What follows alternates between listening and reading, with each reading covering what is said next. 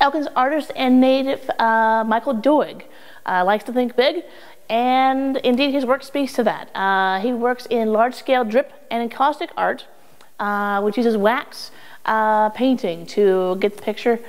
After working for a time uh, teaching and working in New York State, he returned to his native Elkins, where he is now teaching on the Davis and Elkins campus.